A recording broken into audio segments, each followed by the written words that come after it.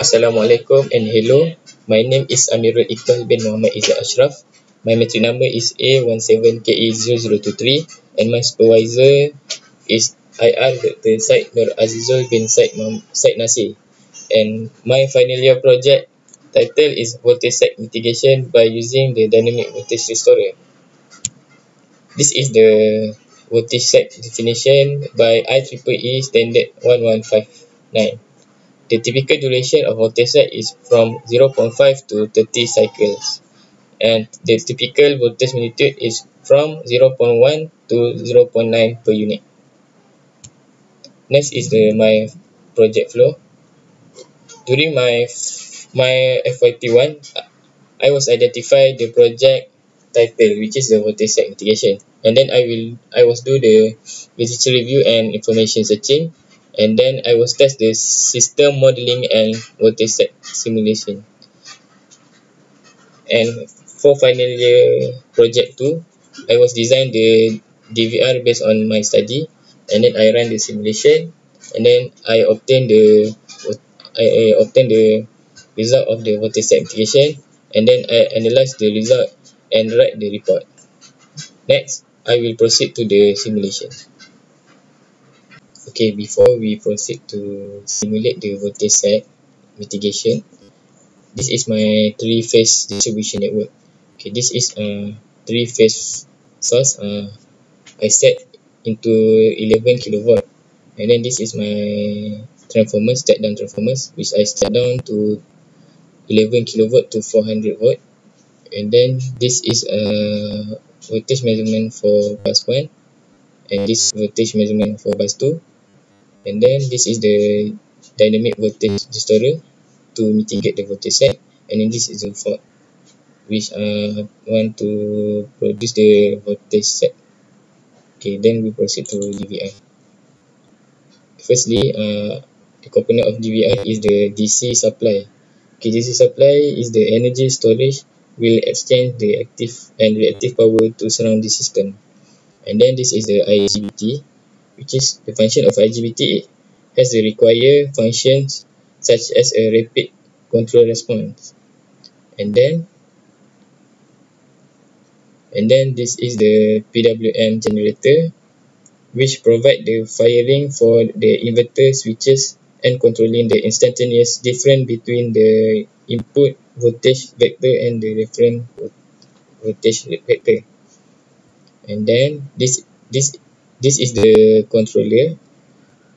The controller is the determine the desired voltage reference. Okay, this is the uh, injected transformers which is the step up the injector voltage and compensate the voltage sag then we proceed to the controller.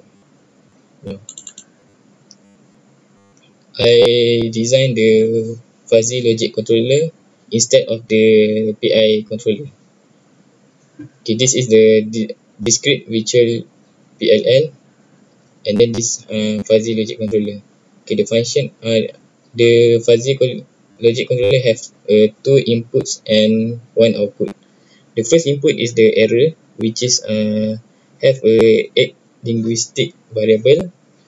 And the second one is the delta error which have a two inputs two linguistic variables. And then uh, the output is the have a 13 linguistic variable which is the output will run the defuzzication process. Okay. okay now I will proceed to run the single line to ground fault to observe the voltage sag mitigation by the DVI okay we can we can know here fault is between phase B and phase uh, and ground which is uh, single line to ground fault okay the switching time is 0.3 to 0.5 then set okay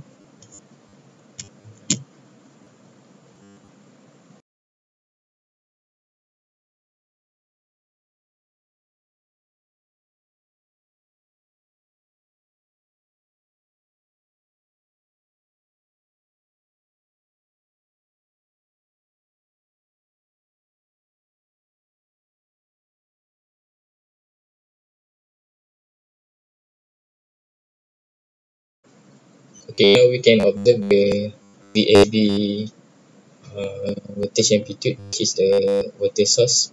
Okay, this is the uh, fault at the phase B, which is a single line to ground fault. And then we can see that the load, the load voltage amplitude uh, uh, waveform, uh, they achieve the one one per unit, which is uh, the voltage set have uh, successfully mitigated, and this is the injected voltage that only inject to the phase B only.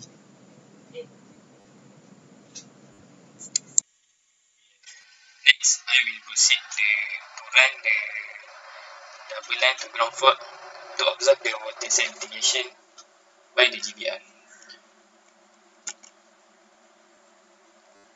I will choose the fault between phase A, phase C and ground, which is uh, double line to ground fault.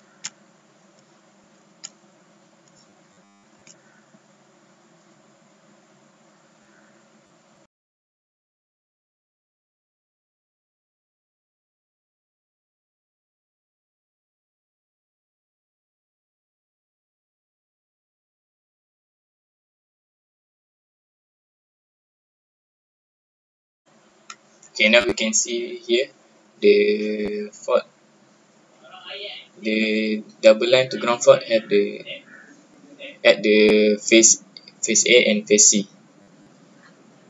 And then the injector voltage was inject the voltage for phase A and phase C. And then the uh, the load voltage have been successfully mit, uh, mitigate the voltage set. Okay, next is uh, I want to proceed to run the line to line fault to observe the voltage set mitigation by the DVR. Okay, in this I will choose the phase A and phase C only without the ground.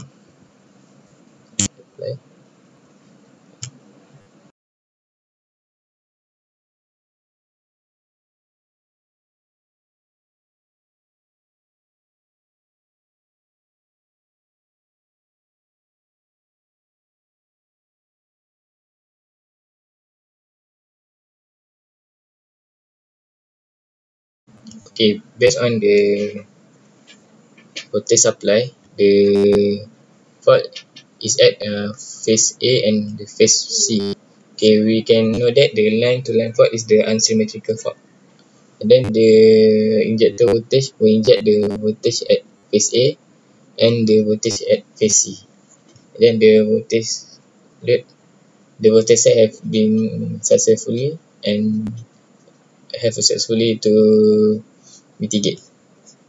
Okay, this is uh, the last fault which is a three phase fault. I will run the fault at the all all phase phases which is uh, phase A, phase B, phase C and the ground.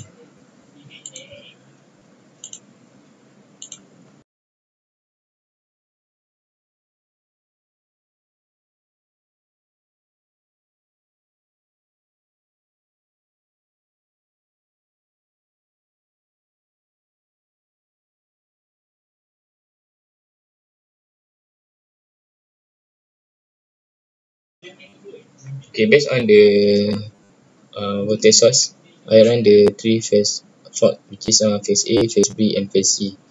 So the three phase fault is the is the symmetrical fault. Then the injector voltage has has successfully inject the voltage at phase A, phase B, and phase C.